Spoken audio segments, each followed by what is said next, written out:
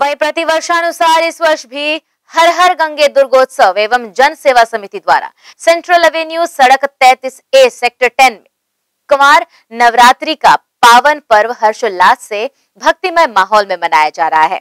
26 सितंबर से प्रारंभ हुए नवरात्र पर्व के दौरान सेक्टर 10 सड़क 33 ए में प्रतिदिन विभिन्न धार्मिक कार्यक्रमों का आयोजन किया जा रहा है। पूरे नौ दिन तक माता के नौ रूपों की पूजा की जाएगी। चार अक्टूबर को माँ सिद्धिदात्री की पूजा के पश्चात हवन पूजन, नौकन्या भोग एवं महाभोग का आयोजन किया गया है। पाँच अक्टूबर को विजयादशमी एवं ज्वारा विसर्जन के बाद छह अक्टूबर को माताजी का विसर्जन किया जाएगा।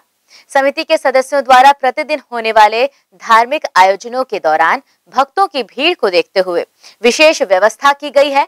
आयोजन को लेकर समिति के संरक्षक श्यामदेव साहू ने कुछ इस प्रकार से बात कही।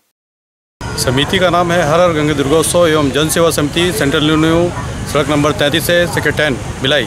माता से हम यही कामना करते हैं कि जो हमारे भारत देश में परेशानी आ रही है, वो सभी की परेशानी दूर करे, हमारा देश महान हो और माता सबकी मनोकामना पूर्ण करे, यही हमारा और सबका उद्देश्य है।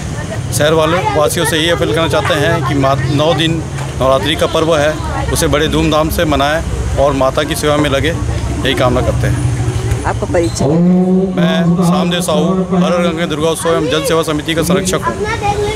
मैडम आज नवरात्रि का प्रथम दिवस है और सैल बाला माता की पूजा की जाती है और आज बड़े धूमधाम से पहला दिन आज माता की स्थापना की जा रही है। हर हर गंगे दुर्गोत्सव समिति लगातार छः वर्षों से लगातार यह भव्य आयोजन देख पा रहे हैं। यह सभी के सहयोग से संभव हो पाता है। माता रानी सभी की मनोकामना पूर्ण करे। यही शुभकामना, यही बधाइयाँ आप सभी को। नवरात्र वर्ष की ढेर सारी शुभकामनाएँ।